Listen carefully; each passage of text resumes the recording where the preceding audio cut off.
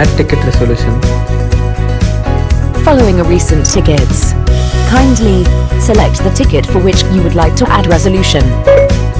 Phone not updating. Please provide the resolution you want to add.